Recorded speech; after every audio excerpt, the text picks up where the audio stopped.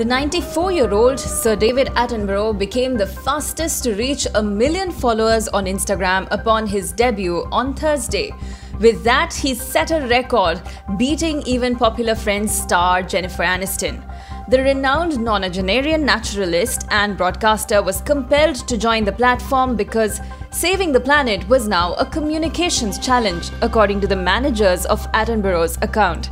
No, he will not be personally managing the account, and followers will see more than Attenborough on it. Social media isn't David's usual habitat, his frequent collaborators and account managers Johnny Hughes and Colin Butfield explained. In his introductory video that has gained over 14 million views so far, the veteran environmentalist says, and I quote, I am making this move and exploring this new way of communication to me because, as we all know, the world is in trouble. Continents are on fire, glaciers are melting, coral reefs are dying, fish are disappearing from our oceans, the list goes on and on.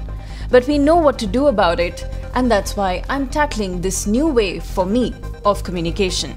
He continues, and I quote Over the next few weeks, I'll be recording messages to explain what the problems are and how we can deal with them. He signed off while urging people to stay tuned.